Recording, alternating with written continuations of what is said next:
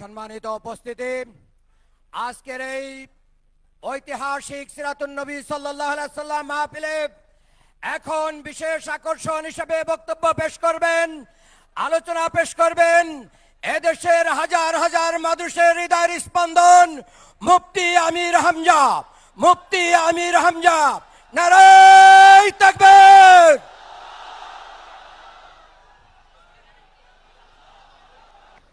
আসসালামু আলাইকুম রহমতুল্লাহি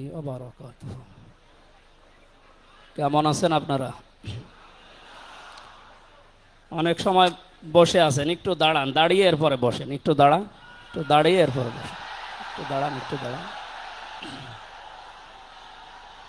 হ্যাঁ বসেন বসেন। দশ সেকেন্ড সময় দিলাম, বসেন, তাড়াতাড়ি বসেন। الحمد لله رب المشرقين ورب المغربين الذي خلق كل شيء زوجين وأوجب علينا الإحسان بالوالدين ونشهد أن لا إله إلا الله وحده لا شريك له وأشهد أن محمدا عبده ورسوله سيد الكونين. صلى الله عليه وعلى آله وصحابه وأتباعه أجمعين. ليلا ونهارا في الطرفين. فقد قال الله تعالى في كلامه المجيد وبرهانه التوحيد জবান খুলে পড়েন আউযু বিল্লাহি মিনাশ শাইতানির রাজিম بسم الله الرحمن الرحيم. لقد كان لكم في رسول الله أسوة حسنة. أسوة حسنة لمن كان يرجو الله واليوم الآخر.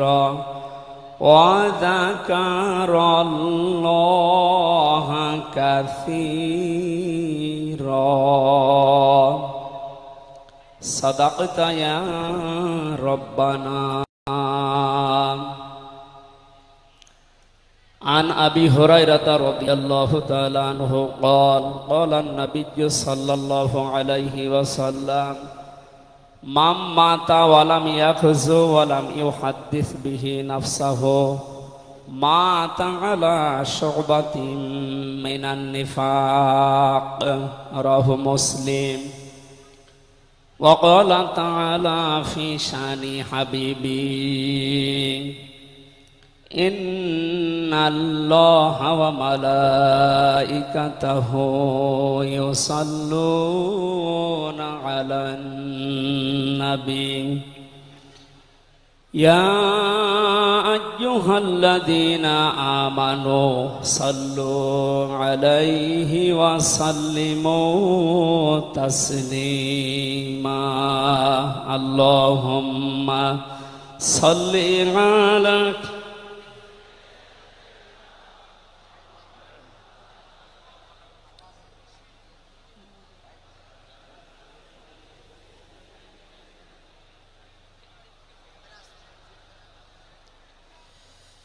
আলহামদুলিল্লাহ, জাতীয় সিরাত উদযাপন কমিটি, ঐতিহাসিক সরোয়ার্দি উদ্যান ঢাকা, বিশ্ব মানবতার মহান বন্ধু মোহাম্মদ রসৌল্লাহ সাল্লাহ আলহি ওয়াসাল্লামের জীবন চরিত্র সম্পর্কে আলোচনার এই পবিত্র অনুষ্ঠানের সম্মানিত সভাপতি বিশিষ্ট আলেমে দিন জনাব মাওলানা আবু তাহের জিহাদি দামাদ বারকাত আলিয়া, মাহফিলের প্রধান অতিথি, আন্দরকিল্লা শাহী জামে মসজিদের সম্মানিত খতিব আওলাদের রসুল, আল্লামা আনোয়ার হোসাইন তাহের আল জাবের আল মাদানি, মাদ্দা জিল্লুহুল আলিয়া। সম্মানিত অতিথিবৃন্দ, মঞ্চে বসা জাতীয় নেতৃবৃন্দ সামনে বসা মুসলমান ভাইরা, পর্দার আড়ালের সম্মানিতা মা এবং বোনেরা, প্রশাসনের ভাইরা, প্রাণ প্রিয় ঢাকাবাসী, সবাইকে নিয়ে মহান রব্বুল ইজাত আল জালালের দরবারে শুক্রিয়া জানাচ্ছি। যিনি মহাম মহামানবের জীবন, চরিত্র সম্পর্কে আলোচনার এই পবিত্র অনুষ্ঠানে আমাদেরকে হাজির হওয়ার তৌফিক দিলেন। জবান খুলে বলছি, আলহামদুলিল্লাহ। কথা বলার প্রথমে আমি স্মরণ করছি, দুই হাজার চব্বিশ সালের আগস্টের পাঁচ তারিখ পর্যন্ত যারা মুক্তভাবে কথা বলার পরিবেশ তৈরি করে দেওয়ার জন্য নিজের জীবন পর্যন্ত দিয়ে গেলেন, শাহাদতের সর্বোচ্চ মাকাম আল্লাহ যেন তাদেরকে দান করেন। আমরা কিছু ভিডিও দেখতে পাচ্ছি, অনেকে বলছে তারা শহীদ হয়নি। তারা নিজেদের বোককে গলির সামনে, অস্ত্রের সামনে পেটে আত্মহত্যা করেছে। তারা কাদের কাছ থেকে কি পেয়ে, কি খেয়ে কথা বলছেন আমি জানি না। কোরআনে কারিমে আল্লাহ তালা দেড় হাজার বছর আগে জানিয়েছে শহীদ এ শব্দটা আমাদের এই বাংলাদেশ, ভারত, পাকিস্তানে যেভাবে ব্যবহার হয়, এটা এত সস্তা বিষয় না। অনেক দামি বিষয়।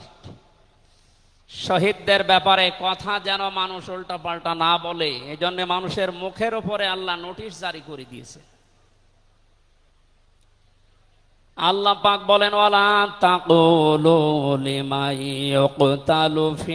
সাবিলিল্লাহি বাল আহিয়াউন ইনদা বাল আহিয়াউ ওয়ালাকিন লা তাশউরুন। সূরা বাকারার 154 নম্বর আয়াতে আমি যতগুলো তাফসির পড়েছি সব মফাসির আয়তের ব্যাপারে একই বক্তব্য দিয়েছেন। আল্লাহ পাক তাম দুনিয়ার সব মানুষের মুখের উপরে নোটিশ দিয়েছেন ওলা তাকুলু। কেউ এ কথা বলব না যে মানুষগুলো আমি আল্লাহর জন্য জীবন দিয়েছে, এরা মারা গেছে কথা কখনো বলবা না। কারণ তারা জীবিত এবং তারা তোমরা এই বিষয়টা বোঝো না, উপলব্ধি করতে পারো না। মুখের পরে মানুষ যেহেতু অন্তর দিয়ে ধারণা করতে পারে এই জন্য আল্লাহ হৃদয়ের উপরে, অন্তরের উপরেও নোটিশ দিয়েছেন। ওলা তাহসাবান্নাল্লাযীনা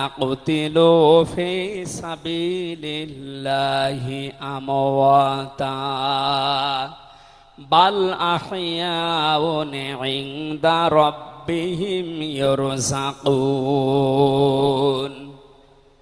সূরা আলে ইমরানের 169 নাম্বার আয়াতে আল্লাহ জানিয়েছেন, মুখ দিয়ে তো বলাই যাবে না যে শহীদরা মারা গেছে, এমনকি অন্তরে ধারণাও আনবে না যে শহীদরা মারা গেছে। বরং তারা জীবিত এবং আমি আল্লাহর কাছে তারা রিজিক প্রাপ্ত হচ্ছে, বলেন আল্লাহ আকবার। আজটা যে একশো ভাগ বাস্তব, আমি কিছুদিন আগে গিয়েছিলাম গাইবান্ধা বাংলাদেশ ইসলামী ছাত্র শিবিরের সদস্য ছিলেন ভাইটা। আগস্টের পাঁচ তারিখের আগে তিনি জীবন দিয়েছেন জালিমের বুলেটের সামনে। শহীদ সাব্বির হুসাইন। এক মাস পরে তার কবর ভেঙ্গে গিয়েছিল এই বৃষ্টির পানিতে। তাজা রক্ত কবর থেকে বের হতে দেখা গিয়েছে। একটা মানুষ যদি খাবার না খাবে তাহলে রক্ত পেল কোথায়? এজন্য এগুলো যারা ছড়াচ্ছেন, আমরা আশা করব এই বিষয়গুলো আর সামনে নিয়ে আসবেন না। আমরা কোরআনে কারিমের আয়াতের উপরে একশো ভাগ বিশ্বাস করি এবং এ কথা বলি, জালেমের জুলুমের সামনে যারা নিজের জীবন পর্যন্ত দিয়ে গেলেন, আগস্টের পাঁচ তারিখের আগ পর্যন্ত প্রত্যেকেই শহীদ, যাদের ইমান আছে। এবং আল্লাহ তাদেরকে যেন শাহাদতের সর্বোচ্চ মাকাম দান করেন, বলেন আমিন। কোথায় ছিলাম আপনা, আমরা আর কোথায় আসি এখনও বাস্তবতা টের পান না।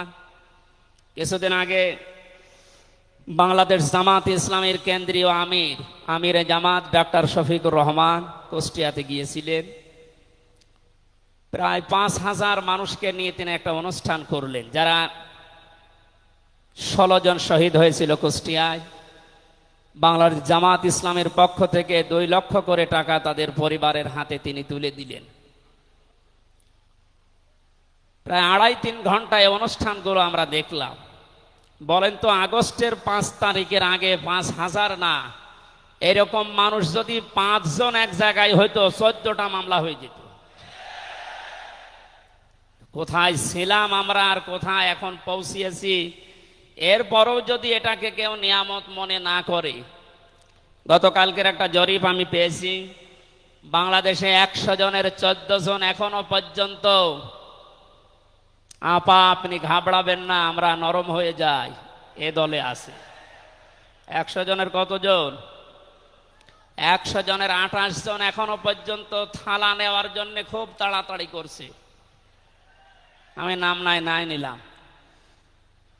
আনন্দের বিষয়, একশো জনের আটান্ন জন মানুষ এখন চাচ্ছে এদেশে আল্লাহর বিধান দিয়ে জমিনটা চলুক। আগস্টের পাঁচ তারিখ খুব বেশি দিন যায়নি। এই কয়েকদিনের ব্যবধানে যদি এই অবস্থা সৃষ্টি হয়, এই জন্যে আমার মনে হচ্ছে এদেশের অনেক মোনাফেকেরা বসে ফেলেছে বিষয়টা। এই জন্য খুব তাড়াতাড়ি করছে যে থালা আমাদের হাতে দিন আমার দাদা একটা গল্প বলতেন। এক লোক বিবাহ করার পরে বাসর রাতে বউকে রেখে একটু বাইরে গেছে। দাদি শাশুড়ি এসে বলছে, আমার কিন্তু পতি চাই, তুমি কি করবা আমি জানি না। নতুন বউ ডাক দিয়ে বলছে, দাদি শাশুড়ি, আমার একটু সময় দেন, আপনার পতি হবে, অসুবিধা নেই। শাশুড়ি এসে বলছে বৌমা আমার কিন্তু নাতি চাই। ঠিক আছে, আমার সময় দেবেন তো। দেবর আর ননদ এসে বলছে, ভাবি, আপনি কি করবেন? আমরা জানি না, আমাদের কিন্তু ভাতিজা চাই।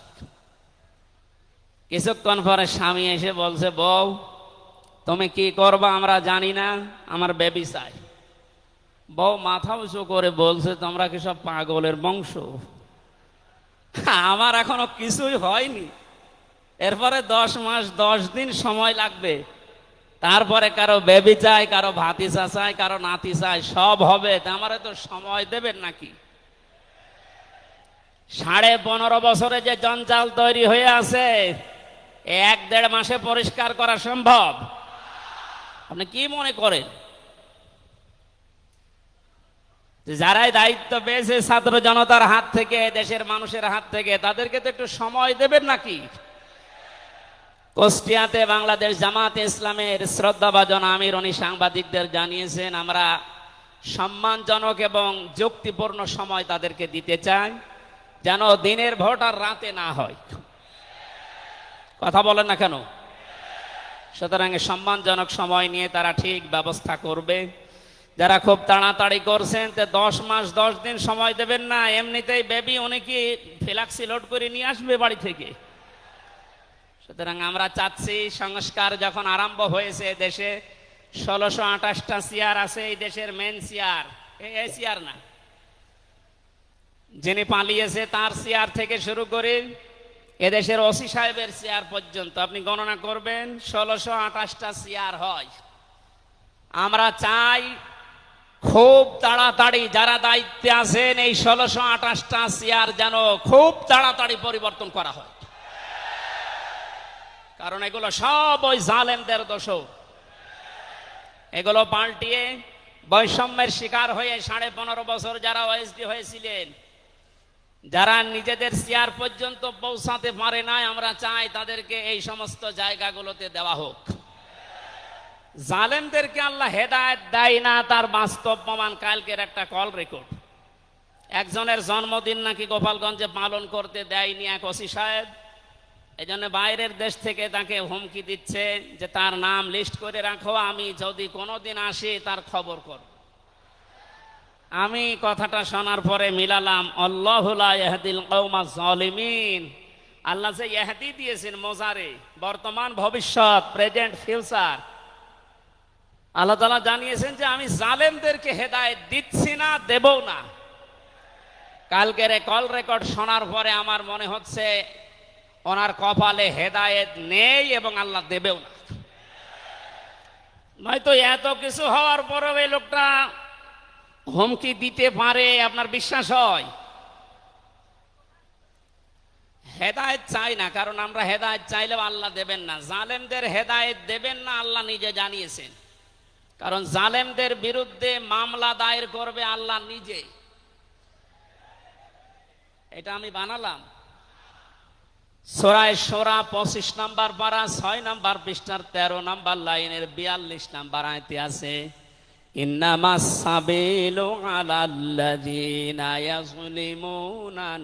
নাস। ইলা আখিরি আয়া।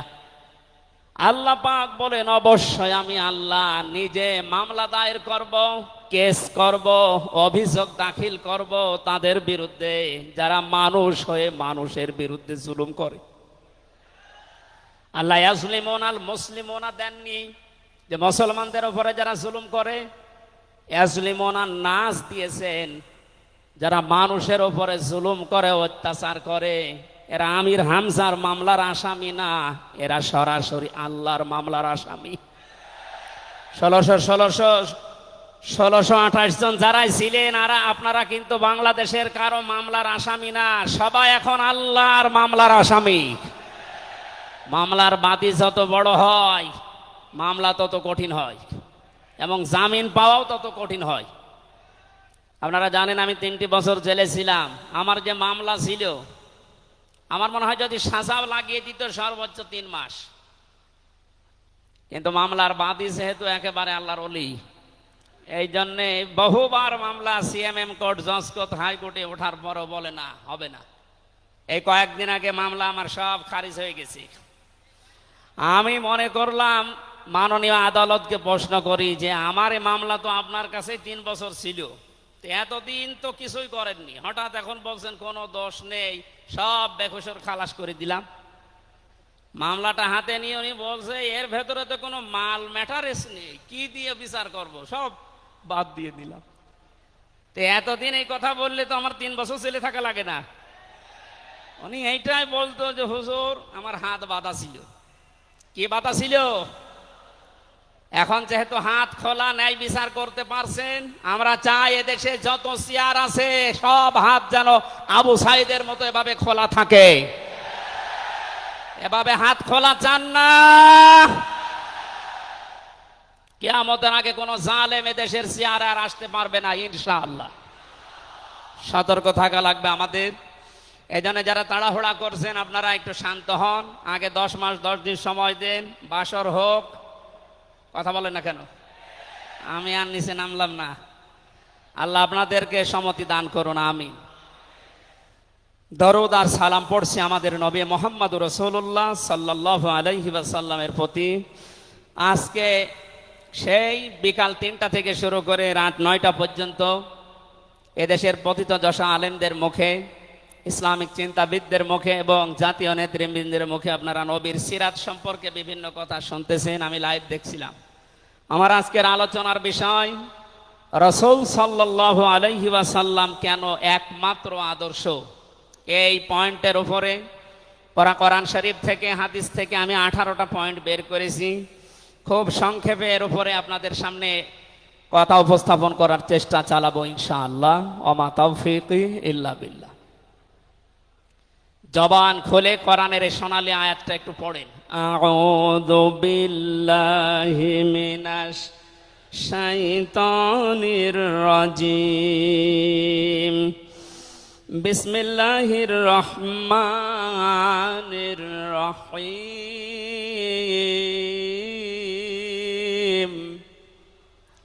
لقد كان لكم في رسول الله أسوة حسنة صدقت يا ربنا সূরা আহজাব একুশ নম্বর আয়াতের প্রথম অংশ আমরা তেলাবাত করলাম আমার আদো আলোচনার বিষয় হচ্ছে বিশ্বনবী কেন একমাত্র আদর্শ এ পৃথিবীতে বহু মানুষকে আমরা আদর্শের সৈনিক হওয়ার ঘোষণা দিতে শুনি।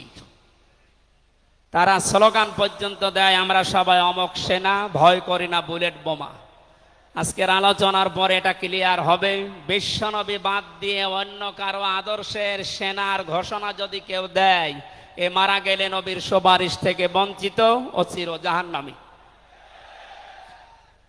আমরা যেহেতু মানুষ এবং আমরা মুসলিম আমরা জাহান নামে যেতে চাই না, এই ছোট্ট ভুলের কারণে এই ভুলটা আজকে শুধরিয়ে নেব ইনশাআল্লাহ। সোরাই আহজাব, কোন সোরা বলেন তো? এটা ক্লাস চলছে, ছাত্রের মতো জবাব দেবে আহজাব শব্দের শাব্দিক অর্থ দল সমূহ। এর এক বছরে হচ্ছে হিজবুন। হিজবুন মানে দল। পৃথিবীতে দল আছে দুইটা। প্রশ্ন আসতে পারে বাংলাদেশে প্রায় তিহাত্তরটার উপরে দল আর দল দুইটা মানে? হ্যাঁ। দল একটা হচ্ছে আল্লাহর দল একটা হচ্ছে শয়তানের দল। আমরা সামনে বিস্তারিত ওই দুইটা দলের উপরে কথা বলব ইনশাআল্লাহ। দল করা লাগবে এই ঘোষণা আমির হামজার না আল্লাহর? এই শব্দটা শুনলে অনেকে এ, মানধাত আমলের দিকে নিয়ে যায় হ্যাঁ আপনি আলেম মানুষ, হুজুর মানুষ, ইমাম সাহেব মানুষ, আপনি দল দাঁড়িয়ে এগুলো করবেন কেন? কোরআনে কারিমের যদি কেউ একটা আয়াত অবিশ্বাস করে, আর ইমান থাকার কথা, আল্লাহ পাক বলেন ওয়ালতাকুম মিনকুম উম্মাতুন।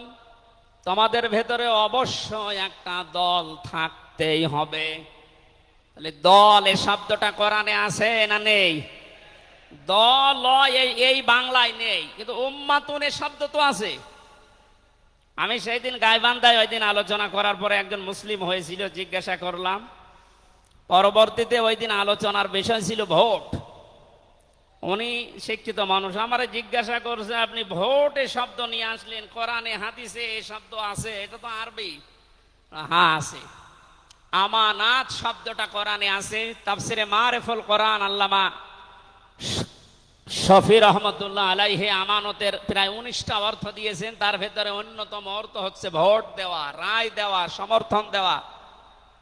সুতরাং কেউ যদি ভোট এটাকে দুনিয়ার কোনো বিষয় মনে করে এড়িয়ে যায়, সে কিন্তু মরণের পরে ধরা খাবে। কথা বলেন, আমরা আখেরাতে আদালতে ধরা খেতে চাই, আমরা বাঁচতে চাই। সুতরাং দল মাস্ট বি করাই লাগবে, যে দলের কর্মসূচি দুইটা, তারা ভালো কাজে আদেশ করবে, অন্যায় কাজে বাধা দেবে।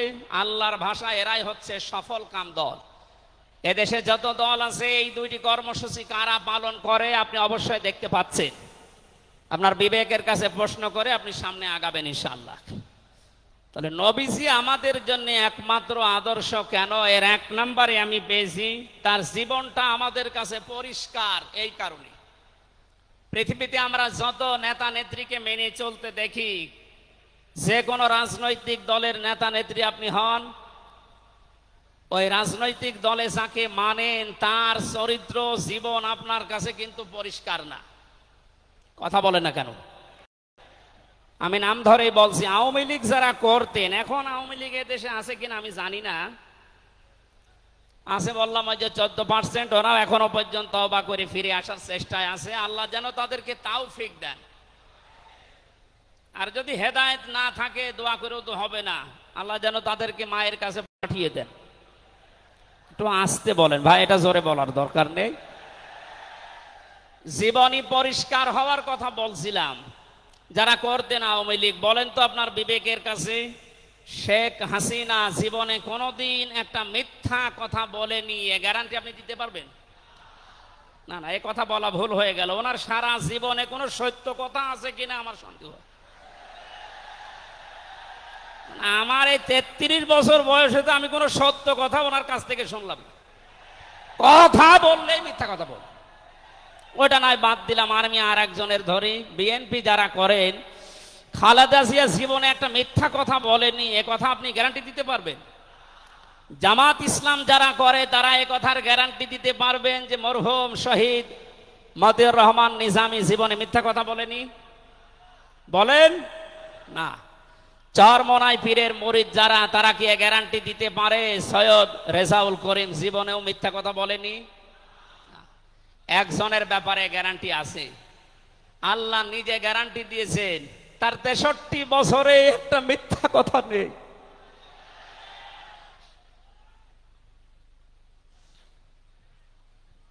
এই জন্য বিশ্বনামে আমাদের একমাত্র আদর্শ হওয়ার কারণ এই যে জীবনে তেষট্টি বছরে একটাও মিথ্যা কথা বলেননি। জোরে বলেন, আল্লাহ আকবার। এটা যে কত বড় বিষয়, আপনি চিন্তা করলে আপনি চিন্তার রেখা শেষ করতে পারবেন না। আমাদের দিনের ভেতরে চব্বিশ ঘন্টায় কত মিথ্যা আসে? আর তারপর আর তেষট্টি বছরের জীবনে একটা মিথ্যা কথা তিনি বলেননি। দুই নম্বরে পেয়েছি আমি, তিনি উন্নত চরিত্রের অধিকারী ছিলেন। এমন চরিত্র আল্লাহ তাকে দিয়েছিলেন। আমি তিনজন নবীর নাম পেয়েছি, আল্লাহর নামের সাথে তাদের নাম আল্লাহ মিলিয়ে দিয়েছেন। হজরত ইসমাইল সাল্লামকে আল্লাহ ডাক দিয়েছিলেন, গোলামিন হালিম, আমার সহনশীল বান্দা হজরত ইসহাক নবীকে আল্লাহ বলেছিলেন, গোলামিন আলিম, আমার জ্ঞানী বান্দা, আর মোহাম্মদ রসুল্লাহকে আল্লাহ ডাক দিয়েছেন, ওয়া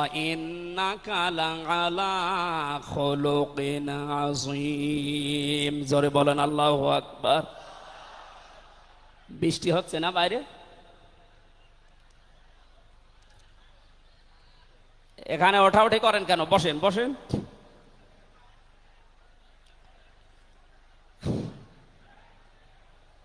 এই কোরআনের আলোচনার ভেতরে কথা বললে কিন্তু গোনা হবে। ভাই, কথা বলা যাবে না। কষ্ট হলে ওইভাবে থাকেন, কথা বলবেন না। তিন নম্বরে পেয়েছি আমি সরাই অনুসের আটান্ন নম্বর আয়তে আল্লাহ তালা জানিয়েছেন, বিশ্ব নবী তোমাদের জন্য একমাত্র আদর্শ হওয়ার কারণ তিনি শ্রেষ্ঠ সম্পদ। قل بفضل الله وبرحمته فبذلك فليفرحوا هو خير مما يجمعون নবী আপনি বলুন তাম দুনিয়ার মানুষেরা যা গেইন করে যা অ্যাচিভ করে যা অর্জন করে যা কিছু পেয়ে আনন্দে আছে আমি আল্লাহর কাছে এই পৃথিবীর শ্রেষ্ঠ সম্পদ হচ্ছে আপনি। জোরে বলেন আল্লাহ আকবার। সুতরাং আপনার আদর্শ পেয়েছে যারা সে মানুষগুলো যেন আনন্দে থাকে, তারা যেন খুশি হয়। এই জন্য আগস্টের পাঁচ তারিখের আগ পর্যন্ত এদেশের একশো জনের মাত্র পনেরো জন মানুষ বিশ্ব নবীকে একমাত্র আদর্শ মানতেন। তারা খুশি ছিলেন, রাজি ছিলেন। মাত্র এক মাস কয়েক দিনের ব্যবধানে এই যে একশো জনের এখন আটান্ন জন মানুষ বিশ্ব নবী ছাড়া আর কাউকে বুঝতে চাচ্ছে না। সময়টা যেতে জেনে দেশের একশো জনের একশো জন মানুষ চাইবে, বিশ্ব নবী ছাড়া কারও আদর্শ মানি না। ওকে সংক্ষেপ করছে আমাদের প্রধান অতিথি এসে পড়েছেন এই জন্যে চার নাম্বারে পেয়েছি। এই পৃথিবীর ময়দানে বিশ্বনবী মোহাম্মদ রসুল্লাহ হচ্ছেন আল্লাহর পক্ষ থেকে আমাদের জন্যে, বিশেষ করে মমিনদের জন্য সবচাইতে বড় অনুগ্রহ। ইমরানের একশো চৌষট্টি নাম্বার আয়তে আল্লাহ ঘোষণা দিচ্ছেন, লাকাদ মান্নাল্লাহু আলাল মুমিনিনা ইয لقد من الله على المؤمنين إذ بعث فيهم رسولا إلى آخر آية অবশ্যই মমিনদের জন্য এই পৃথিবীর ময়দানে বিশ্বনবে মোহাম্মদ রসুল্লাহ আল্লাহর পক্ষ থেকে একটা অনুগ্রহ আমরা এক একটা আয়াতের ভেতরে বিভিন্ন তাফসির অনুযায়ী যত কথা আল্লাহ জানিয়েছেন নবীর সম্পর্কে এ প্রচণ্ড গরম আপনাদের কষ্ট হবে যেন আমি খুব সামারাইজ করছি। ছয় নম্বরে, পৃথিবীর ময়দানে বিশ্বনবী একমাত্র আদর্শ হওয়ার পেছনে কারণ এই। তিনি গোটা জাহানের জন্য ছিলেন একমাত্র রহমত। সরাম বিয়ার একশো সাত নম্বর আয়তে আল্লাহ এই ঘোষণা দিয়েছেন অমার সালনাকা ইল্লা রহমাতাল্লিল আলামিন বলেন আল্লাহু আকবার। আল্লাহ আলম বলেন না যে শুধু পৃথিবীর জন্য, আলামিন। যত জগৎ আল্লাহ বাজিয়েছেন আর যত জগতে আল্লাহর যত সৃষ্টি আছে, এতানাজ্জালুল আমরু বাইনাহুন্না। প্রতিটি জগতে ওই সৃষ্টি অনুযায়ী আল্লাহর বিধিবিধান নাজিল হচ্ছে। যেখানেই যেই সৃষ্টি আছে প্রত্যেকটা সৃষ্টির জন্য মোহাম্মদ রসুল্লাহ হচ্ছেন আল্লাহর পক্ষ থেকে রহমত। বলেন সবহান আল্লাহ সেই রহমতকে হজরতে হালিমাত সাদিয়া চিনেছিলেন। কলে নেওয়া থেকে শুরু করে বাড়ি পর্যন্ত যেখানে নিয়ে গেছেন, সিরাত ইবনে হিসাম বলছে সব জায়গায় হালিমাত সাদিয়া বিশ্ব নবীর মাধ্যমে আল্লাহর রহমত পেয়েছিলেন। সিরাত বিশ্বকোষের ভেতরে পেয়েছি। আল্লাহর নবীকে হজরতে হালিমাত সাদিয়া যেদিন কোলে তুলে নিলেন। হজরতে হালিমা বলেন, আমার স্তনে দুধ ছিল না। মোহাম্মদ রসুল্লাহকে কোলে নেওয়ার সঙ্গে সঙ্গে আমাদের স্তন, আমার স্তন দুইটাই দুধে পরিপূর্ণ হয়ে গেছে। আমি দান স্তন তাকে দিলাম, তিনি পান করলেন। বাম স্তন তাকে দিয়েছি, সঙ্গে সঙ্গে তিনি মুখ বের করে নিলেন। হজরতে হালিমা বলেন, আমি একবার, দুইবার, তিনবার মোহাম্মদ রসুল্লাহর মুখে আমার স্তন দিয়েছিলাম। তিনবারই মোহাম্মদ সাল্লা সাল্লাম স্তন থেকে মুখ বের করে নিয়েছেন। চোখের ইশারা দিয়ে যেন আমাকে বসাতে চাই, মা হালিমা, জোর করেন কেন? ডান স্তন, এটা আমার অধিকার ছিল, আমি পান করেছি। বাম স্তন, এটা আমার অধিকার না, আমি জানি আপনার একটা সন্তান আছে। তার নাম আবদুল্লাহ। এটা আমার দোদ ভাই আবদুল্লাহর অধিকার। ও মা হালিমা, পৃথিবীতে আমি ভাইয়ের হক নষ্ট করার জন্য আসি না, এসেছি ভাইয়ের হক ফিরিয়ে দেওয়ার জন্যে। ঢাকাবাসী, যেই নবী মায়ের কোলে বসে ভাইয়ের হক নষ্ট করেন নাই, এই আওয়াল মাসে সেই নবীর উম্মত আমরা এখন যারা দাবি করছি অধিকাংশ গুলোই দেখতে পাই যত বড় হচ্ছি, তত ভাইয়ের হক মারার জম হচ্ছি। এটা তো রবিউল আওয়ালের শিক্ষা ছিল না। হজরতে হালিমা বলেন, তাকে যে গাধার উপরে তুললাম, দুর্বল ছিল, সঙ্গে সঙ্গে সবল হয়ে গেছে। বাড়িতে পৌঁছাতে দেরি, কুয়ায় পানি ছিল না, কুয়া ভর্তি হয়ে গেছে। খেজুর গাছে খেজুর ছিল না। বিশ্বনবী মোহাম্মদ রসুল্লাহ যেহেতু রহমত, আমার খেজুর গাছে খেজুর পরিপূর্ণ হয়ে গেছে। সুতরাং ওনাকে যেখানেই নেওয়া হয়, সেখানে যদি রহমত আসে, আমাদের এই মাথা থেকে পা পর্যন্ত, রান্নাঘর থেকে আন্তর্জাতিক জীবন পর্যন্ত, আজকের এই সিরাত অনুষ্ঠানে যদি সিদ্ধান্ত নিয়ে যেতে পারি, সব জায়গায় তাকে ছাড়া কাউকে মানব না। অবশ্যই আল্লাহ পাকে আট ছাপ্পান্ন হাজার বর্গ মাইল রহমত, বরকত দিয়ে ভরে দেবেন। কথা বলেন ঠিক কিনা? আল্লাহ যেন এটা দেন আমাদের মাধ্যমে, বলেন আমিন।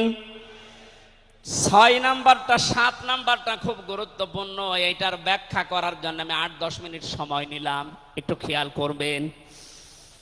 বিশ্বনবী আমাদের একমাত্র আদর্শ, এই কারণে সাত নাম্বার পয়েন্টে আমি কোরআন থেকে নিয়েছি। গণা মাপের গ্যারান্টি শুধু তার আদর্শ অনুসরণের মাধ্যমে। পৃথিবীতে বহু মানুষ আছে, বহু বিশ্ব নেতার দাবি অনেকে করছে, অনেকে বিশ্ব মানবতার দাবি করছে, অথচ বিশ্ব নেতা হওয়ার জন্য যে সাতটা কোয়ালিটি লাগে, আমরা অধিকাংশ মানুষের ভেতরে পাই না, আন্দাজে শুধু ঢোল বাজাই এ পৃথিবীতে বিশ্ব নেতার দাবি করতে পারেন নবীরা, রাসুলরা। কথা বলেন ঠিক কিনা? এই পৃথিবীতে বিশ্ব নেতৃত্ব দেওয়ার দাবি করতে পারে নবী, রসুলরা। এ কথার সাথে একমত আছেন? আমরা একজন নবীর নাম বলছি হজরত ইসা রহুল্লাহ। তিনি জন্মের পরে তার জাতির লোকেরা তাকে অবৈধ হারাম হারামসাদা এরকম উল্টা পাল্টা নাম দিয়ে ডাকতো। হজরতে মরিম সাল্লামের কাছে যখন জিজ্ঞাসা করেছে জাতির লোকেরা বিয়ে হয়নি সন্তান পেলে কোথায় খুব খেয়াল করে শুনবেন হজরতে মরিয়ম ইশারা দিয়েছিলেন দোলনার দিকে فأشارت إليه قالوا كيف نكلم من كان في المهد صبيا তিনি ইশারা দিয়ে বললেন, এই যে দোলনায় যে ছেলেটা আছে, ওকে জিজ্ঞাসা করো, ওর জন্মের পরিচয় বলতে পারবে? ওরা বলছে, ছোট্ট বাচ্চা, কথা বলবে কি করে? সঙ্গে সঙ্গে দল না থেকে হজরত ঈসা, তারা এই জাতির লোকের এই কথার উত্তর দিয়েছেন, জবাব দিয়েছেন কলা ইন্নি Abdullah. Atani ala kitab wa ja'alani nabiyya wa ja'alani mubarakan aina ma kuntu wa awsani bis salati wa zakati ma dumtu hayya. Allah, akbar. দলনা থেকে হজরত ঈসা বললেন, আমি অবৈধ সন্তান না, আমি জারজ না, আমি আল্লাহর বান্দা। আল্লাহ পাক আমাকে জামানাই নবী করে পাঠিয়েছেন এবং আমাকে সামনে কিতাব দেবেন। আমাকে তিনি অসিয়ত করেছেন, আদেশ দিয়েছেন। আমি যেন সলাত আদায় করি জাকাত আদায় করি, যতদিন আমি জীবিত আছি। আমার মা আর বাবার সাথে, মায়ের সাথে যেন আমি ভালো ব্যবহার করি। এখানে কয়েকটা পয়েন্টের দিকে তাকান। হজরতে ঈসা, তিনি নিজের পরিচয় দিতে গিয়ে প্রথমে বললেন, আমি আবদুল্লাহ, আল্লাহর বান্দা। আল্লাহ আমাকে জামানার নবী করে পাঠিয়েছেন এবং কিতাব সামনে আমাকে দেবেন। আজ পৃথিবীর ময়দানে যারা বিশ্ব নেতা হওয়ার কথা জানায়, যাদেরকে দাবি করা হয়, দেখেন তো, এ মানুষগুলোর বাবা এক ধর্মের, মা আর এক ধর্মের জন্ম আপনার আগে বৈধ হওয়া লাগবে। এরপরে বিশ্ব নেতা যে সাতটা পয়েন্ট আছে আয়তের তাফসিরে। অত জোরে বলার দরকার নেই। আপনি বুঝলেই হবে। বিশ্ব নেতা হওয়ার জন্য প্রথম কোয়ালিটি থাকবে আপনার জন্ম হওয়া লাগবে বৈধ। এ পৃথিবীর প্রত্যেকটা নবীর জন্ম ছিল বৈধ, কোন নবী অবৈধ না। কথা বলেন। অথচ এখন অনেককে এমন দাবি করে আকাশে তোলা হচ্ছে, যার মা এক ধর্মের, বাবা আর এক আমি বাকি ছয়টা নাই নাই বললাম। ঢাকাবাসী, এবার আসেন তো সোরা আলে ইমরানের একশো একত্রিশ নাম্বার আয়াতের এই ব্যাখ্যাটা বলার জন্য আমি এই আশপাশে যাচ্ছিলাম। বিশ্ব নবীকে অনুসরণ করলে জীবনের গোনা মাপের গ্যারান্টি দিয়েছেন কে? এতদিন আয়াত যেভাবে শুনেছেন ওইভাবে না যেহেতু এখন ডিজিটাল যুগ ডিজিটাল কায়দায় শোনা লাগবে قل إن كنتم تحبون الله فاتبعوني يحببكم الله ويغفر لكم ذنوبكم والله غفور رحيم এটা তাফসিরে ফি জিলালিল কোরআনে সাইয়্যেদ কুতুব বিস্তারিত দিয়েছেন আমি শুধু ইঙ্গিত দিচ্ছি একটু তাকান আল্লাহ পাক বলেন নবী আপনি বলুন যদি আল্লাহকে ভালোবাসি এ দাবি তোমাদের থাকে এ দাবি আমাদের আছে না নেই আল্লাহকে আমরা ভালোবাসি, এ দাবি আছে না নেই? আল্লাহ বলেন দাবি যারা করে তাদেরকে আপনি বলেন যে ফাত্তা তারা যেন আপনার অনুসরণ করে। আল্লাহ পাক বলেন, তারা যদি আপনার অনুসরণ করে আমি আল্লাহ নিজেই তাদেরকে ভালোবাসা আরম্ভ করব। আমি যদি কাউকে ভালোবাসি, তার জীবনের অপরাধগুলো মাফ করে দেই। আমি গফর, আমি রহিম। এ পর্যন্ত বাংলা অর্থ ছিল। এবার আসেন ব্যাখ্যায়। এদিকে আসেন আপনারা, এদিকে আসেন।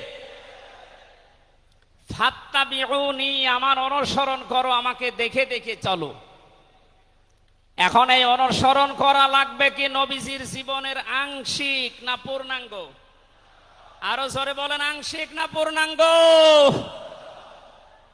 আব্দুল্লাহ ইবনে ওবায়ের দিকে তাকান, এ লোকটা অনুসরণ করেছিল, কিন্তু আংশিক।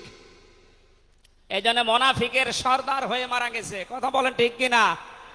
তার নামাজ ছিল রসুলের মতো, রোজা ছিল রসুলের মতো, নবীজির পেছনে হজ করেছে নবীজির সাথে, বিশ্ব নবীর সাথে ইফতারি করেছে, কিন্তু বিশ্ব নবী এই পৃথিবীর নেতা, এটা সে মানত না। আজ বাংলা সহ বিশ্বে বহু মুসলমান এই থিওরিতে আছে।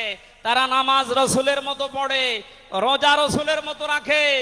কিন্তু সমাজ নবীজি, রাষ্ট্র নবীজি দশ বছর কোরআন দিয়ে চালিয়েছিলেন, এইটা মানতে তারা রাজি না। এ মানুষগুলোর অনুসরণ হচ্ছে আংশিক না পূর্ণাঙ্গ? সুতরাং আংশিক অনুসরণ করলে আল্লাহ কি আপনাকে ভালোবাসা আরম্ভ করবে? না ইহবিব এটা মোজারে। বর্তমান ভবিষ্যৎ প্রেজেন্ট ফিউচার যখন আপনি পূর্ণাঙ্গ অনুসরণ করার জন্য দাড়ি থেকে মাথা থেকে শুরু করে পা পর্যন্ত, রান্নাঘর থেকে শুরু করে আন্তর্জাতিক জীবন পর্যন্ত, সব জায়গায় বিশ্ব নবীকে অনুসরণের সিদ্ধান্ত নিয়ে নেমে পড়বেন, আল্লাহ তখন ভালোবাসা আরম্ভ করবে আয়াত অনুযায়ী দেশে, এখনও যারা পূর্ণাঙ্গ অনুসরণ আরম্ভ করেননি, একটু নিজের দিকে তাকিয়ে ভাবেন তো। আপনি চোদ্দ বার হজ করতে পারেন, চব্বিশ বছর রোজা রাখতে পারেন, প্রতিদিন বাহাত্তর রাকাত নামাজ পড়তে পারেন নফল, কিন্তু এখনও পর্যন্ত আল্লাহর ভালোবাসা আপনি পাওয়া শুরু করেন। এ কথা বুঝে এসেছে? সুতরাং আমাদের অনুসরণ হবে কি আংশিক না পূর্ণাঙ্গ? আরও জোরে বলেন। নবীজির মতো নামাজ পড়া যেমন, বিশ্ব নবীর মতো রাষ্ট্র চালাতেও হবে ওই রকম নবীজি জানিয়েছেন, মান মাতা আলাম ইয়াখজু আলাম ইউহাদ্দিস বিহি নাফসাহু মাতা আলা শুবাতিম মিনান নিফাক। যে লোকটা মরে গেল, কিন্তু তার এই চিন্তা ভাবনা ছিল না যে জমিন আল্লাহর কোরআন দিয়ে চলুক। এই লোকটা মোনাফিক হয়ে মরবে, কেউ তাকে বাঁচাতে পারবে না। অথচ এই হাদিসটা সামনে নিয়ে বাংলাদেশে আমরা এখনও অনেককে নামাজ পড়া, রোজা রাখা, দাড়ি রাখা, জব্বা গায়ে দেওয়া মানুষকেও মোনাফিক হয়ে মরার সম্ভাবনা দেখতে পাচ্ছি। কথা বলে ঠিক কিনা? সুতরাং আমরা চাই নবীজি যেভাবে নামাজ পড়েছিলেন, বিশ্ব নবী যেভাবে রাষ্ট্র চালিয়েছিলেন, ওইভাবে আমাদের এই দেশটাও দশ বছর চলুক। আমিরে জামাত ডাক্তার শফিকুর রহমান কয়েকদিন আগে ঘোষণা দিয়েছেন পনেরো বছর লাগবে না, মাত্র দশটা বছর আমাদের হাতে দেন। আমরা গ্যারান্টি দিতে পারি দেশের মানুষকে। নয়টা পয়েন্ট ওখানে উনি দিয়েছেন। সবগুলোর বাস্তবায়ন করে এই ষোলো কোটি মানুষকে উনি দেখাবেন। এটাকে আজ অনেকে রাজনীতি মনে করে উল্টাপাল্টা দিকে নিয়ে যাচ্ছেন। আমার বিশ্ববিদ্যালয়ে থাকাকালীন এক দুষ্টু বন্ধু ছিল। দশ বছর নবী কোরআন দিয়ে রাষ্ট্র চালিয়ে বলতে পেরেছিলেন খাইরুল করুণী করণী আমার যুগ শ্রেষ্ঠ যুগ। আমাদের দেশটা তিপ্পান্ন বছর স্বাধীন হয়েছে, এক বছরও কোরআন দিয়ে চলেছে। এই জন্যে তো কোনো জিনিস নিরাপদ না। আমার ছোট দাদা, উনি বলছিলেন যে হজে যাওয়ার পরে দেখি একটা ঘড়ি পড়ে আছে, মোবাইল ঘড়ি। চিন্তা করলাম, নেব না নেব না, মনের ভেতরে ভয় যদি ধরা পড়ে যায়, তাহলে তো মানুষ এ দেশে তো ধরা পড়লে আবার হাত কেটে দেবে। দেশে যাওয়ার পরে মানুষ বলবে, হাজি সাহেব, চোর। এই ভয়তে নিলাম না। কি করি অতক্ষণ দাঁড়িয়ে থেকে কেউ নেয়ও না, কারও পায়ের নিচে পড়ে আবার নষ্ট হয়ে যাবে। তুলে নিলাম, এদিক ওদিকে তাকিয়ে। হারানো জিনিস যেখানে জমা দেয়, ওই জায়গায় জমা দিলাম। ওনারে জিজ্ঞাসা করলাম, ভাই, মোবাইলের দাম কেমন হবে? উনি আমার বলছে, ইয়া হাজিউল হজ্জা তাই না বেলা দোকা হে হাজি, দেশ কোথায়? দাদা বলে যে তুমেন বাংলাদেশ বাংলাদেশ থেকে এসেছি। আপনার বাংলাদেশের টাকার মান অনুযায়ী এই ঘড়ি মোবাইলের এটা দাম হবে বাহাত্তর হাজার টাকা। কত? বাহাত্তর হাজার টাকার মোবাইল পড়ে আছে ঘড়ি, কেউ নিচ্ছে না। এদেশে থাকবে? বলেন সাধারণ মানুষের কাছে থাকা দূরের কথা, দরবেশের কাছে থাকবে। ছত্রিশ হাজার কোটি টাকা। আমার মনে হয় আমার তেত্রিশ বছরের জীবনে গণনা করেও শেষ করতে পারব না। পদ্মা সেতু আর একটা বানিয়ে এখনও চার হাজার কোটি টাকা রাষ্ট্রে থেকে যেত। কথা বলেন? দরবেশ যদি এই করে, যেগুলো ধরবেশ, ওগুলোর চরিত্র কি বলেন? এই জন্য এই বন্ধুটা আমারে বলছিল, আমি রামজা, আমি কুষ্টিয়া থেকে যাচ্ছিলাম ঢাকাতে একটা নর্মাল কোচে চড়ে হঠাৎ আমার পেটে গন্ডগোল। সিরাজগঞ্জ রোড পার হওয়ার পর ড্রাইভারকে বললাম যে, ভাই, একটু দাঁড়ান, আমি নেমে যাব। আমার পেটে গন্ডগোল। ড্রাইভার বলছে, গাড়ি থামবে না, একেবারে জায়গা মতো থামবে। আপনার যদি বেশি অসুবিধা হয়, তো পেছনে সিট খালি আসে, বসে বসে আল্লাহ আল্লাহ করেন। বলছে, আমার পেটে গন্ডগোল কি আল্লাহ আল্লাহ থামে। পেছনে যে দেখি কয়েকটা সিট খালি পড়ে আছে। ওই যে পলিথিন দেয় বমি করার জন্য একটা নিলাম। দুই সিটের মাঝে বসে ওই কাজ করলাম। চিন্তা করলাম, এটা যদি রেখে চলে যায় তাহলে আমার বদনাম হয়ে যাবে। পকেট থেকে একটা সাদা রুমাল ছিল, ওইটা বের করলাম। টাইট করে বাঁধলাম। পেছনের সালানা খুলে ফেলে দেব। আল্লাহর ইশারা পেছনে আসছিল মোটর সাইকেলওয়ালা পড়বে কি পড়বে একেবারে মোটর সাইকেলের সামনে। বলছে জালনা দিয়ে তাকিয়ে আছি, দেখলাম মোটর ওলা এদিকে ওদিকে তাকিয়ে। ও মনে করছে নতুন রুমালে থপ করে পড়ল কি? এ রুমাল যখন নতুন ভেতরের জিনিসও মনে হয় নতুনই হবে। ও বলে, তুলে নিল। ও বাড়ি যে টের পাবে যে কোন নতুন জিনিস। জন্য বলছে, হামজা, আমাদের দেশে পায়খানা পর্যন্ত নিরাপদে নেই, এর বাস্তব প্রমাণ আমারটা। অথচ আমির জামাত গ্যারান্টি দিয়েছেন চুরি থাকবে না, শুধু পায়খানা না, ছত্রিশ হাজার কোটি না, ছত্রিশ পয়সাও চুরি হবে না, দশ বছরের জন্য ছেড়ে দেন দেশটা। আপনারা ওনার সাথে একমত কিনা? কারা কারা ওনাদের হাতে দিতে চান দেখি লিল্লাহে তাকবীর।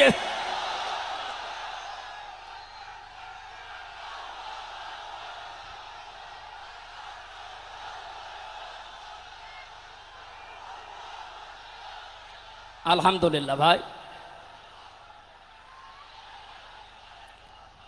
এটা রেকর্ড হচ্ছে, এটা শুধু এই সামিয়ানার নিচে নেই, আঠারো কোটি মানুষ শুনতেছে। যারা এই ময়দানের থেকে হাত তোলা দেখে তারাও হাত তুলেছে, আমরা চাই এই হাত যেন আল্লাহর জন্য আপনারা তোলেন। মানুষকে দেখানোর জন্য না। সুতরাং আমরা যদি বিশ্ব নবী মোহাম্মদ রসুল্লাহর অনুসরণ আংশিক করি, আল্লাহর ভালোবাসা পাওয়া এখনও আমরা আরম্ভ করিনি। এই হিসাবে দেশের অনেক পীর, অনেক ইমাম, অনেক খতিব, অনেক আলেম, অনেক জনতা এখনও আল্লাহর ভালোবাসা পাওয়া আরম্ভ করেনি, গোনা গোনামাপ জান্নাত তো দূরের কথা। কারণ আল্লাহর ভালোবাসা যে পাওয়া আরম্ভ করবে, তার জীবনের গোনাগুলো আল্লাহ মাফ করবে, তাকে জান্নাতে দেবে। সুতরাং রসুল্লাহ আমাদের একমাত্র আদর্শ হওয়ার কারণেই তাকে অনুসরণ করলে এ গ্যারান্টি পাওয়া যায় যে জীবনের গোনা আল্লাহ মাফ করে দেন। জোরে বলেন সবহান আল্লাহ নয় নম্বরে বেশি, বিশ্ব নবীর সাথে কেউ যদি বিয়াদবি করে তাহলে সে ধ্বংস হয়ে যাবে। আপনি তাকান, তার চাচা আবুল আহাব এটা যদি সিরাতন নবী মাহফিল, আমাদের ঢাকাতে এগুলো হয়তো নেই। এগুলো চট্টগ্রাম আর সিলেট বিভাগে বেশি পাওয়া যায়। রবিউল মাস আজকে শেষ। এ মাস আসলেই অনেককে দেখি নবীর জন্ম নিয়ে, নবীর মিলাদ নিয়ে আনন্দে আত্মহারা হয়ে যায়। পরিষ্কার ভাষায় বলছি, বাংলার মানুষেরা নবীর মহাব্বত, নবীর ভালোবাসা মাস্ট বি লাগবেই।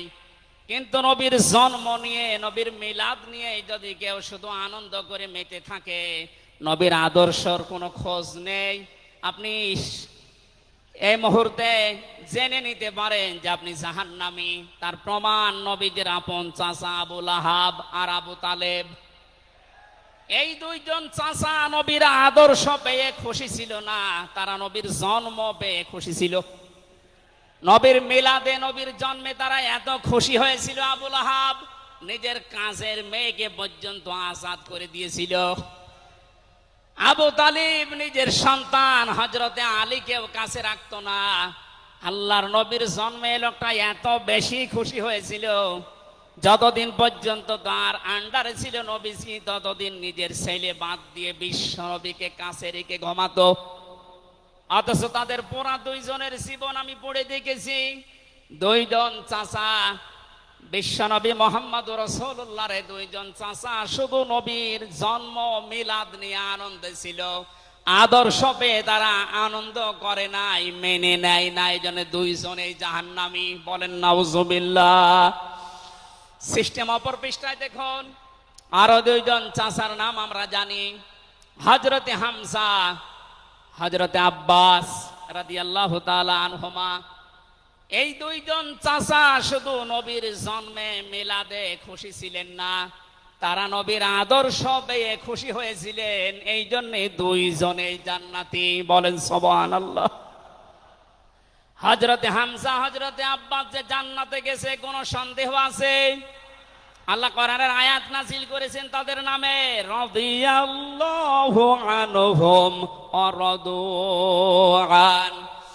আল্লাহ পাক বলেন, আমি তাদের উপরে রাজি হয়ে গেছি, যেমন তারা আমার উপরে রাজি।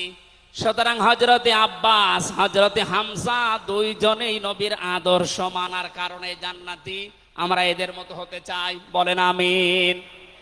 এখানে একটা কথা আছে হজরতে হামজা আব্বাস রাদি আল্লাহ তিনি কিন্তু অনেক আগে মুসলমান হয়েছিলেন গোপনে, কিন্তু প্রকাশ করেননি। এ মাসলাটা বলছি এই কারণে। একশো বাহান্ন জন সমন্বয়কের ভেতরে একশো আট জন বাংলাদেশ ইসলামী ছাত্র শিবিরের নেতা এবং পরীক্ষিত কর্মী তারা আজ অনেক জালেম এবং অনেক মোনাফিক পর্যন্ত এমন অনেক অনেক আলেম নামে জালেম পর্যন্ত এই বিষদগার করছে। নাম যেহেতু দেখেছে ছাত্র শিবির এই জন্য তাদের এই চুলকানি।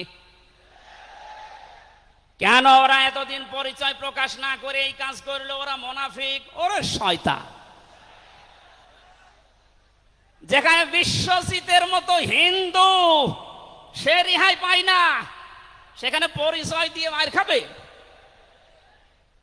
সুতরাং সাদিক সাহেব এবং এস এম ফরাদ ভাই সহ যারা পরিচয় গোপন করে এই জালেমের বিদায়ের জন্য এই বিপ্লব আমাদেরকে এনে দিয়েছেন, তাদেরকে প্রত্যেক থানায়, জেলায়, রাজধানীতে সংবর্ধনা দেওয়া দরকার। তারা এটা এমনিতেই করে নাই, তারা হাজরতে আব্বাসের জীবন থেকে করেছে। আব্বাস রাসুলের বিরুদ্ধে বদরের ময়দানে বিরুদ্ধে যুদ্ধ করার জন্য আবু পক্ষ নিয়ে গিয়েছিল, অথচ তিনি ওই সময় মুসলমান। তার মানে নিজের পরিচয় গোপন করে বাস্তবতার নিরিখে স্থান কাল পাত্র বেদে একটা একটা কৌশল, এটা একটা হেকমা। ও জীবনে কোরআনই পড়ে নাই, হাদিস পড়ে নাই, ও ফতোয়া দিচ্ছে যে এ হচ্ছে মোনাফিক। এই জন্য ওনারা যা করেছে, আমি এখানে নয়টা পয়েন্ট এনেছিলাম। সাদিক সাহেব ভাই সহ, এস এম ফরাদ ভাই সহ, একশো আট জন যা করেছে, সব নবীদের থেকে, নবীর মাদের থেকে, নবীর সাহাবিদের থেকে নবীদের চাষার থেকে শিক্ষা নিয়ে এই হেকমতটা অবলম্বন করেছে। আল্লাহ তাদেরকে যেন সর্বোচ্চ মাকাম দান করেন, বলেন আমিন আসতেছে মেহমান বেয়াদবি করলে যে মানুষের জীবন ধ্বংস হয়ে যায়, রসুলের সাথে তার প্রমাণ পেয়েছি নবী যাই চাষা আবুল আহাবের জীবন থেকে। বিশ্ব নবী যখন সাফা মারোয়া, এই পাহাড়ের উপরে উঠে দাওয়াত দিচ্ছিলেন। এই লোকটা ডাক দিয়ে বলেছে, তাব্বালাকা আলী হাজা জামাতানা ইয়া মোহাম্মদ। হে মোহাম্মদ, তুমি ধ্বংস হয়ে যাও।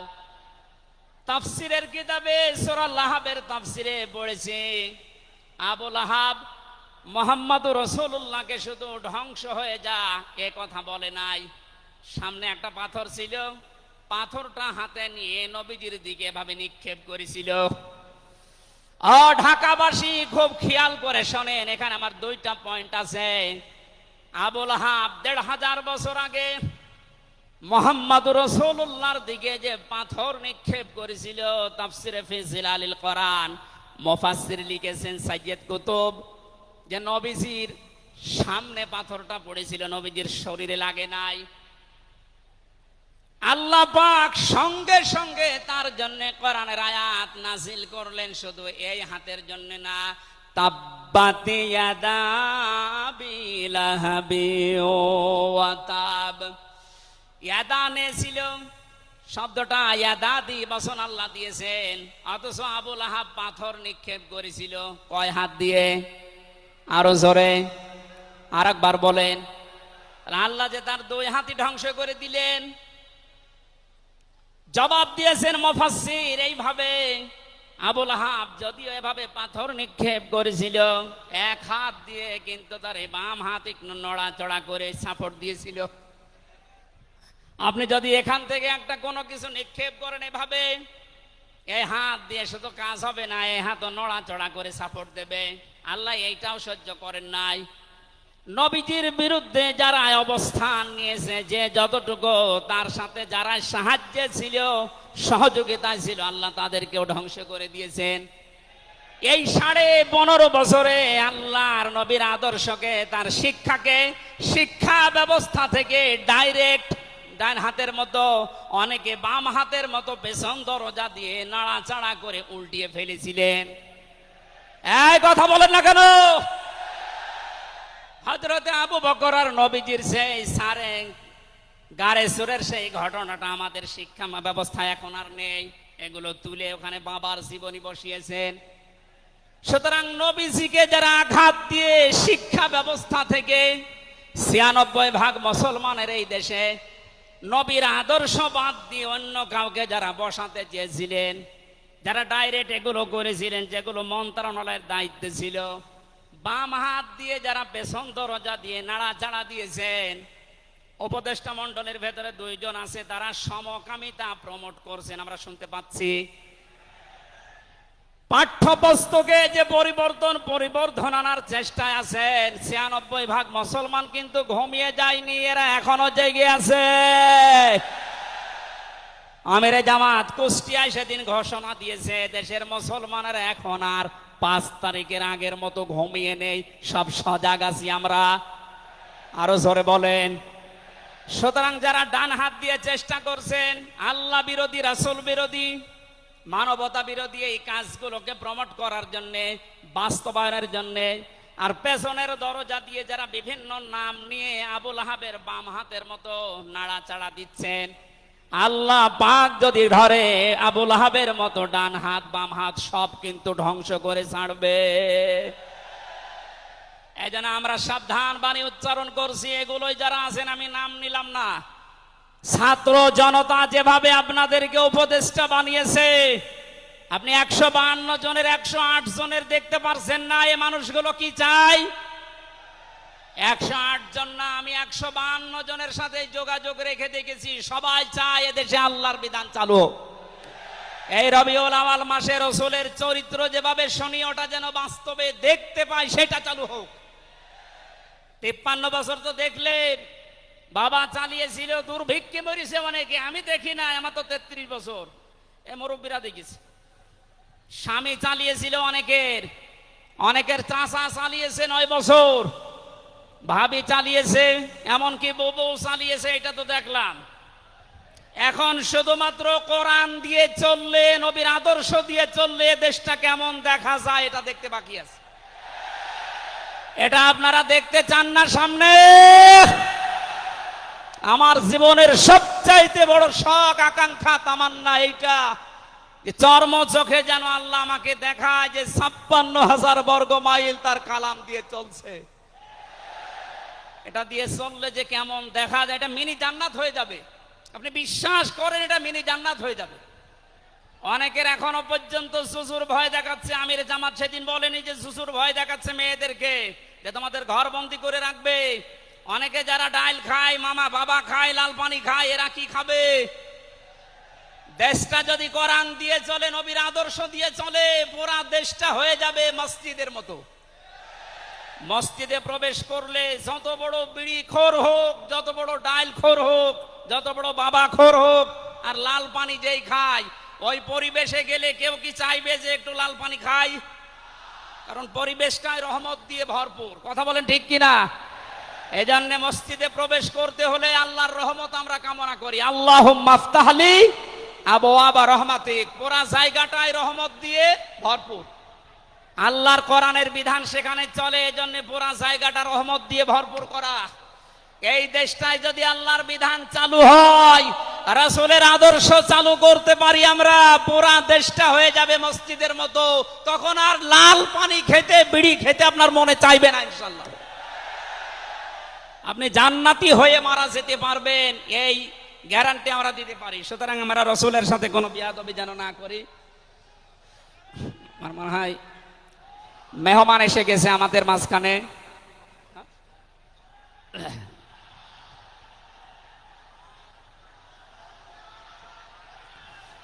লিল্লাহে তাকবীর।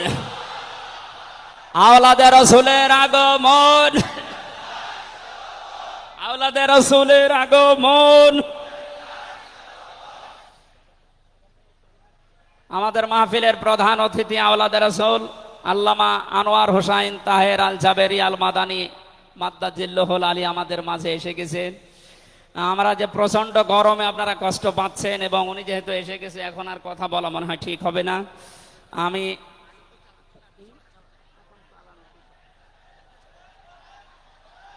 এই, এখানে যা বস,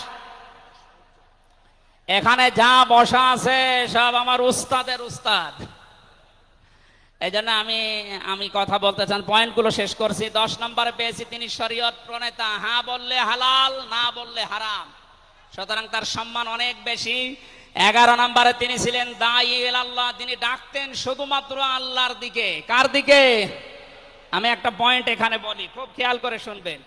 সোরা হামিম শেষদার তেত্রিশ নম্বর আয়াতটা। এতদিন যেভাবে শুনেছেন, ওইভাবে না। একটু ভালো করে খেয়াল করে শোনেন।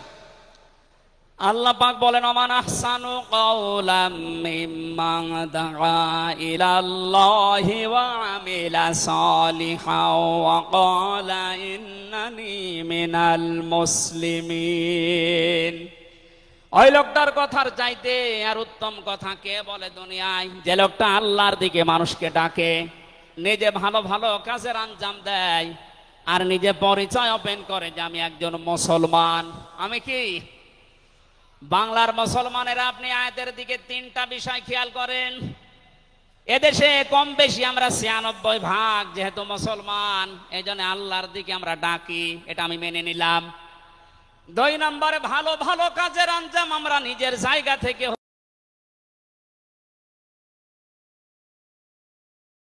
অকলা ইন্নানি মিনাল মুসলিমিন, আমি মুসলমান। এই ঘোষণা দেওয়ার মতো পরিবেশ এই দেশে এখনও আসে নাই। কথা বলুন। এখন এমন জায়গা অনেক আছে যেখানে আমি মুসলমান। এ কথা বলা এখনও সম্ভব না। সুতরাং আয়াতের তিন নাম্বার এটা যদি বাস্তব এই চর্ম চোখে দেখতে চান যে আমি মুসলমান, এই পরিচয় দিয়ে আমি এই পৃথিবীতে টিকে থাকতে চাই, তাহলে এই দেশটা কোরআনের হাতে দেওয়া লাগবে মাস্ট বি কথা বলেন ঠিক কিনা? সুতরাং আমাদের এখন থেকে ডাক হবে, কোনো পীরের দিকে না, কোনো বাবার দিকে না, আমাদের একমাত্র ডাক হবে আল্লাহর দিকে, জোরে বলেন আমিন।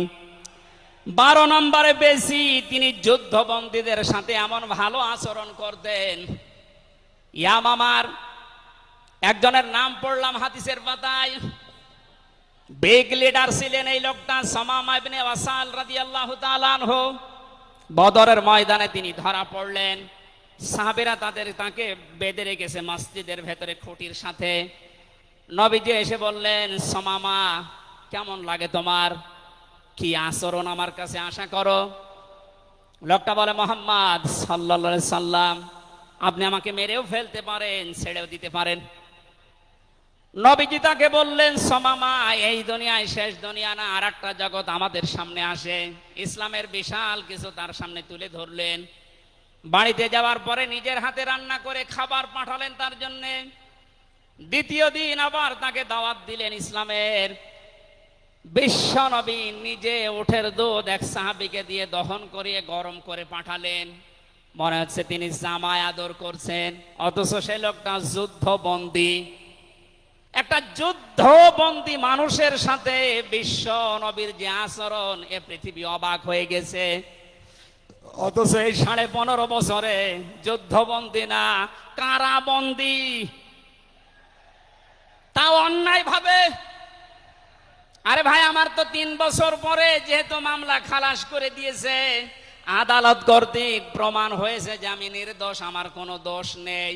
তাহলে আমার মামলার আয়ু থেকে শুরু করে একেবারে ওই উপর পর্যন্ত যিনি পালিয়েছেন, এ পর্যন্ত যারা জড়িত ছিল, আমি চাই তাদের প্রত্যেকে যেন তিন বছর জেলে থাকে। এইটাই ন্যায় বিচার হবে। কথা বলে না কেন? আমার জন্য তিন বছর, ব্যারিস্টার আরমানের জন্য আট বছর, এগারো বছর, কত বছর? আপনি যে চট করে ঢুকে পড়বেন, আগে এগারো বছর থাকেন এরপরে।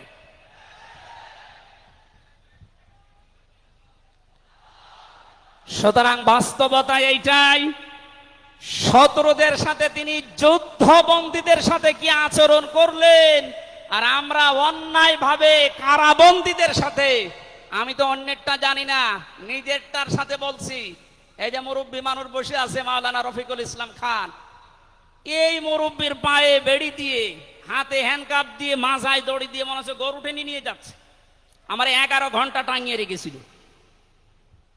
অথচ নিজেরাই বলছিল যে আপনার কোনো দোষ নেই, আমরা জানি। তো দোষ নেই, আমরা ধরে রেখেছেন কেন? ছেড়ে বলে, না, উপরের নির্দেশ।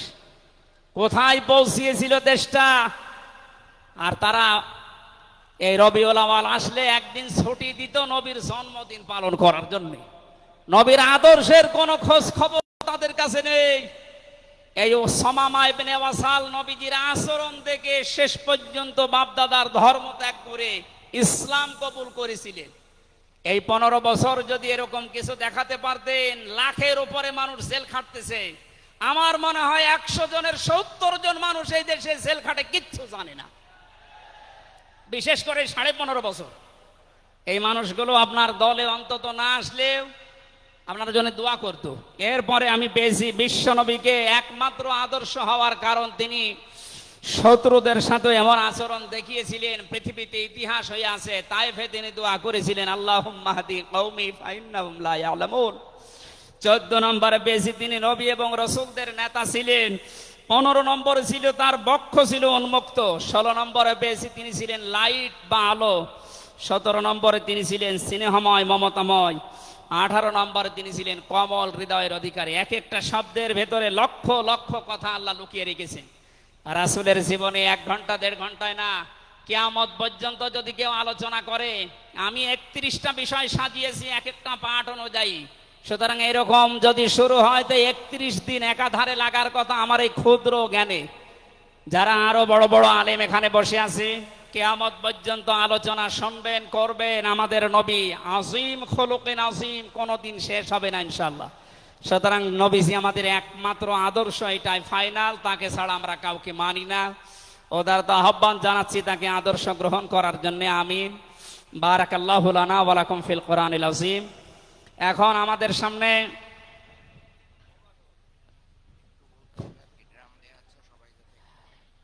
এমনিতেই অনেক খরচ হয়েছে মাহফিলের জন্য, আপনারা দেখতে পাচ্ছেন কত টাকা খরচ আপনি হিসাব করলে আপনার হিসাবে ধরবে না। আবহাওয়ার কারণে ব্যবস্থাপনার কয়েক গুণ খরচ হয়ে গেছে, প্যান্ডেলের ভেতরে বাইরে ড্রাম দেওয়া আছে। আল্লাহর দিকে তাকিয়ে নবীজির এই সিরাত বিশ্ব নবীর আদর্শ যারা গ্রহণ করবেন বলে আপনারা আশাবাদ ব্যক্ত করলেন, তাদেরকে বলছি, মুক্ত হস্তে আপনারা একটু দান করে যাবেন। জাতীয় সিরাত বাস্তবায়ন কমিটি আগামীতে আবার এর চাইতে আরও বিশাল আকারে নবীর জীবনে আমাদেরকে শোনানোর চেষ্টা করবে ইনশাল্লাহ অবশ্যই এটা দিয়ে যাবেন। আমি আজকের মতো বিদায় নিলাম। আমিন বারাকাল্লাহ লানা ওয়ালাকুম ফিল কোরআনিল আজিম আসসালামু আলাইকুম আ রহমতুল্লাহ এখন আমাদের প্রধান অতিথি আছে উনি কথা